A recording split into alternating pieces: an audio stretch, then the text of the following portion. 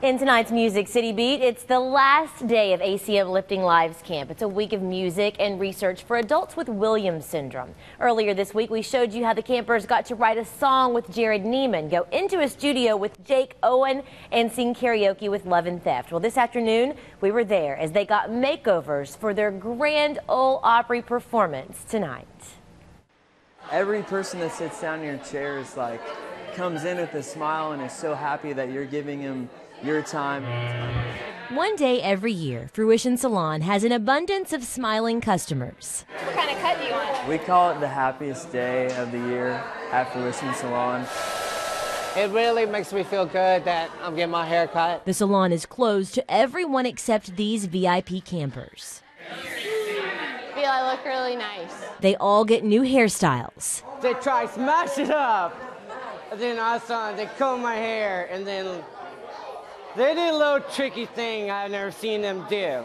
And the ladies get celebrity makeup.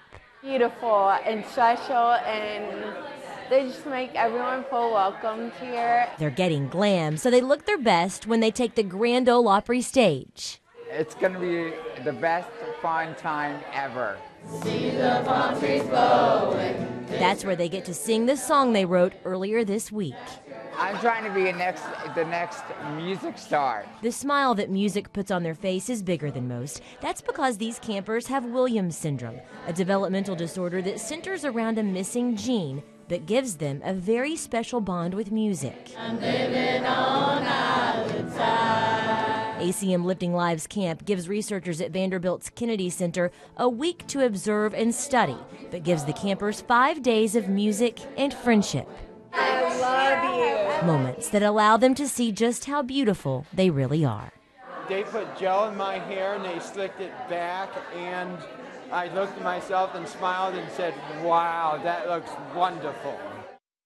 They do look so wonderful. I always look forward to seeing them each and every year at that camp. Now, after the campers took the stage, they had an after party with their parents tonight backstage at the Grand Ole Opry. Now, to see all of the stories that we've done with these campers and to learn more about Williams syndrome, just visit Music City Beat section of our webpage.